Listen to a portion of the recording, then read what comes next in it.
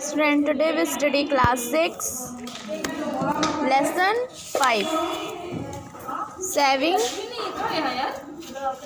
saving new changes there may be situation when you open an existing set and edit it partially और completely एक situation होता है जब आप कोई भी सेट को, ठीक है कुर्दियाँ खोलते हैं, ठीक? तो और even you would like to save the changes is between editing of the sheet sheet को एडिटिंग करने के लिए क्या करते हैं आप? उसको सेव करते हैं ठीक है?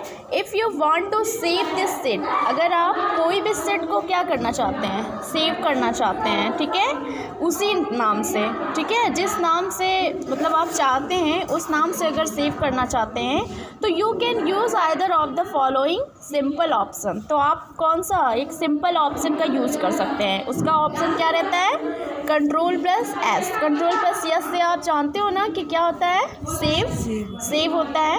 Optionally you can click on the floppy icon available at the top left corner and just above the file tab.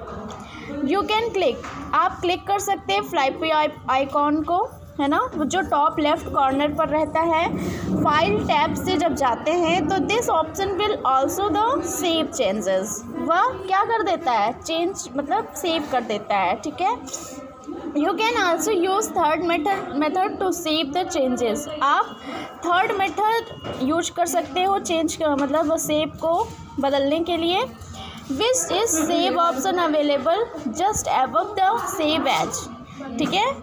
Option जब फ़ाइल मेनू पे जाएँगे तो वहाँ पे ऑप्शन आता है सेव सेव एज, है ना? तो जब सेव एज करेंगे तो आप फिर से कोई भी नाम से सेव किए हैं तो उसको दूसरा नाम चाहते हैं कि हम जो है सेव करें तो आप सेव एज करके दूसरा नाम सेव कर सकते हैं, ठीक है? By default document saved in Excel 2010 are saved with the dot X L S extension इसका एक्सटेंसन नेम क्या होता है? 2010 डॉट एक्स एल एस ठीक है? ये एक्सटेंसन नेम है. ज़्यादातर कभी कभी पूछा जाता है कि इसका आ, किसका? एम एस एक्सेल का एक्सटेंसन नेम बताइए ठीक है? तो क्या होगा इसका extension name dot X L S X ठीक है? और और इसका वर्ज़न जो होता है Excel version dot X L S ठीक है? यही होता है। क्लोज वर्कबुक अब अगर आप वर्कबुक को क्लोज करना चाहते हैं, ठीक है? To close the active workbook you will have to follow some steps आपको कुछ स्टेप फॉलो करना पड़ेगा। जैसे स्टेप वन में क्या होता है? पहले क्लिक करेंगे फ़ाइल टैब को, जो फ़ाइल ऑप्शन यहाँ पे जो दी रहता है, यहाँ। ये देखिए।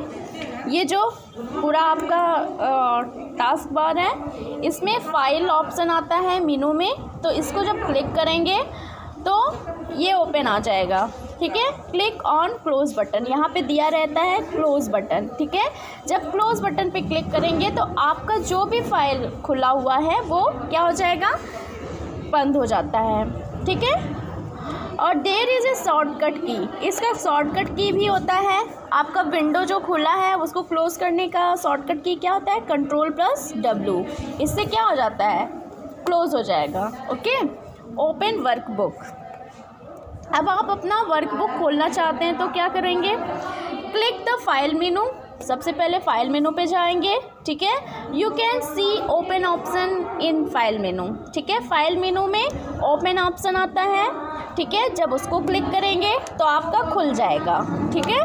खुल जाता है ओपन जो भी आप चाहते हैं, वो खुल जाएगा। फिर recent workbook and recent place where you can see recently workbook and recently recent places from where workbook are open click the open option it will open the browser dialogue X zone along side ठीक है? एक dialogue box ये क्या है? Dialogue box है। ये open Meenu का मतलब खुल के आ जाएगा okay once you select the workbook your workbook will be open और आपको जो वर्कबुक सिलेक्ट करना है, वो आप यहाँ पे राइट करोगे और फिर ओपन का ऑप्शन दबा दोगे। तो वो वर्कबुक आपका खुल के पूरा आ जाएगा। ठीक है? सेविंग न्यू सीट अब न्यू सीट को सेव करना है। तो फिर वही process just same file tab को ओपन करिए, फिर सेव एज को ना ऑप्शन को क्लिक करिए, फिर वो सेव हो जाएगा मतलब खुल जाएगा, है ना? जो आपका होगा वर्कबुक उसको आप क्या करें, अपना नाम डाल दीजिए यहाँ पे, ठीक है? यहाँ पे नाम राइट करने के बाद ये क्या करिए सेव को क्लिक कर दीजिए, ठीक है? वो सेव हो जाएगा, ठीक है? और अगर आपका दूसरे नाम से है, किसी नाम से है, अगर जैसे आपका नाम है, शिखा शिखा नाम दिया हुआ है तो अगर आप उसको एडिट करना चाहते हो, शिखा को चेंज करके आदर्श करना चाहते हो तो आप वहाँ पे क्लिक करेंगे, फिर उसको मतलब मिटा के सीखा, आदर्श यहाँ पे कर दो और उसको ऑप्शन को क्लिक कर दो सेव कर दोगे तो वो आपका आदर्श नाम से आ जाएगा, ठीक है? ये होता है आपका सेव एज ठीक है? Save as button cells and cell content cells and cell content क्या होता है? Cells are the basic building a block of a work set ये वर्कशीट का एक ब्लॉक होता है, ठीक है? They can content variety of content such as text text formatting attributes formulas and function ये क्या रखता है? अलग अलग कंटेंट को रखता है, जैसे टेक्स्ट को फॉर्मेटिंग एट्रीब्यूट्स को फार्मूला को और फ़ंक्शन को। ये सब इसको क्या करता है? ये रखता है। ठीक है? To work with cell you will need to know how to select them insert content and delete cells and cell content work करता है सेल के साथ, जो आपको मतलब जानने की आवश्यकता है कि कैसे इसको सेलेक्ट किया जाता है, कैसे इंसर्ट किया जाता है इसमें और कैसे सेल को डिलीट किया जाता है है ना? मतलब हटाया जाता है। ठीक है? Before you enter your set work set data in M S Excel M S Excel में जो आपका वर्क सेट होता है, उसमें जाने से पहले you must know how to select cell in a work set आपको यह जानना ज़रूरी है कि सेल को वर्क सेट में कैसे सिलेक्ट करना है, ठीक है? The cell cursor is a black border that surrounded the active cell in work set ये देखिए, ये जो ब्लैक बॉर्डर दिया हुआ है ना, ये चीज़ आपका क्या है? सेल है। ये जो छोटा छोटा है, ये ऐसे से टी में इतना छोटा होता है। तो इसको आप सिलेक्ट करके बड़ा भी कर सकते हो। जो ब्लैक बॉर्डर दिया रहता है किनारे किनारे वो क्या होता है? सेल होता है। ठीक है? Select multiple cells click and drag your mouse until all the adjoining cells you want her highlighted click करके उसको माउस से, क्या कर सकते हैं उसको ड्रैग कर सकते हैं, ठीक है? आप चाहते हैं उसको हाईलाइट करना तो आप सेल्स को क्या कर सकते हैं, हाईलाइट कर सकते हैं। रिलीज़ योर माउस, अपने माउस को क्या करिए, रिलीज़ करिए। The cells will stay selected until you click and the cell in the work set अब सेल को अगर ऐड करना चाहते हैं ऐड सेल बॉर्डर ठीक है? बॉर्डर इसमें अगर सेल मतलब करना चाहते हैं तो क्या कर सकते हैं आप? Select the cell you want to format जो फॉर्मेट आपको सिलेक्ट करना है, ठीक है? Click the down arrow beside the border button in the font group at the on the home tab home tab पर क्या आता है? वो फॉन्ट ग्रुप आएगा। A drop down menu appears with all border option you can apply to the cell selection use the border buttons on the home tab home tab पर एक आता है बॉर्डर बॉर्डर को जब आप सिलेक्ट करेंगे, देखिए फिगर में, जब बॉर्डर को आप सिलेक्ट करेंगे तो यहाँ पे क्या आएगा? ऑल बॉर्डर ऑल बॉर्डर जब आएगा तो उसमें जो भी बॉर्डर आप लेना चाहते हैं, जैसा बॉर्डर आपको अच्छा लगता है, वो बॉर्डर आप यहाँ पे आपका बन जाएगा। जब आप सिलेक्ट करोगे तभी ओके जब एरो से इसको ड्रैग करोगे तो वो अपने आप ही क्या होगा? सिलेक्ट हो जाएगा और जो भी बॉर्डर आप अपना मतलब चॉइस के अकॉर्डिंग आप जो बॉर्डर लेना चाहते हैं, आप सिलेक्ट कर सकते हैं, ठीक है? यही है इसमें एड सेल बॉर्डर्स ठीक है? To change the font font को अगर बदलना चाहते हैं तो कैसे कर सकते हैं? Select the cell you want to modify कोई भी सेल को आप सिलेक्ट कर सकते हैं, जो मॉडिफाई करना चाहते हैं। Click the drop down arrow next to the font command on the home tab home tab से क्या कर सकते हैं? फॉन्ट को क्या कर सकते हैं? ड्रॉप डाउन कर सकते हैं। The font drop down menu appears move your mouse over the various fonts a live, ठीक है? यहाँ पे होता है कलर आता है, ठीक है? वो जैसे लैंग्वेज यहाँ पे जब आप जाएँगे मीनू मतलब होम टैब पे होम टैब पे जाएँगे तो यहाँ पे जो भी आप मतलब लेना चाहते हैं लैंग्वेज वो आप यहाँ से सेलेक्ट कर सकते हैं। जैसे आपने उसमें देखा था एम एस वर्ड पर प्रैक्टिकल किया था तो उसमें हुआ था ना, कोई भी आप फॉन्ट को चेंज कर सकते हैं ठीक है? तो यहाँ से जाके आप जो भी आप फॉन्ट लेना चाहते हैं तो वो सिलेक्ट कर सकते हैं ठीक है? जो भी आपको अच्छा लगता है ठीक है? और यहाँ इसके जस्ट बगल में साइज़ दी रहती है। जितने साइज़ का आप लेना चाहते हैं उतना वो बड़ा होता चला जाता है ठीक है? ये होता है उसमें। इसी तरह से सब दिया हुआ है to change font colour font colour अगर आपको चेंज करना है तो यहाँ पे दिया हुआ है। मीनू में ये मीनू ऑफ़ टैब है। सॉरी होम टैब है। होम टैब से आप यहाँ पे कलर में जाते हैं।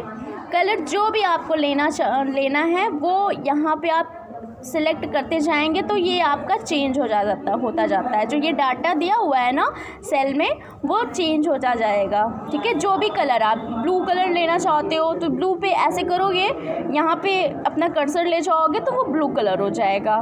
रेड चाहते हो तो रेड हो जाएगा। ओके तो इस तरह से आप चेंज कर सकते हो। याद रखना कि हमेशा कहाँ पे जाओगे? होम टैब पर जाओगे। ठीक है? होम टैब पर जाने के बाद ही जो है वो कमांड कलर वलर लेगा। जो भी लेना होगा, वो सब आपका होम टैब से ही होता है। ठीक है? To add fill colour fill background में भी आप कलर को चेंज कर सकते हो। देखो, जैसे ये येलो किया है तो ये येलो हो जाए, हो जाएगा। कलर चेंज हो सकता है ओके फॉन्ट कलर चेंज है ये पहले से ही फॉन्ट कलर चेंज है और अगर फील कलर बैकग्राउंड में अगर आप चेंज करना चाहते हो तो आप बैकग्राउंड में भी हो सकता है। लेकिन ये कहाँ से होगा? होम टैब से होगा okay to change horizontally text alignment horizontally text जो अलाइनमेंट होता है, वो भी बदल सकते हैं आप। हॉर्जेंटली का मतलब क्या होता है? जो ऐसे ऐसे रहता है, ठीक है? रो में ओके वो हॉर्जेंटली होता है। Select the cells you want to modify आप कोई भी सेल ले सकते हो, जो मॉडिफाई करना चाहते हो। Select one of the three horizontal alignment commands on the home tab home tab पर थ्री हॉर्जेंटल अलाइनमेंट होता है। कौन कौन से होते हैं? अलाइन टेक्स्ट लेफ़्ट सेंटर और align text right align text to the left of the cell ये क्या होता है? सेल के लेफ़्ट में होता है। ठीक है? वो आप अगर जैसे ये जो वर्ड लिखा हुआ है ना इसको आप किसमें कर सकते हो? इधर कर सकते हो? इधर क्या है? राइट है कि लेफ़्ट है? राइट है।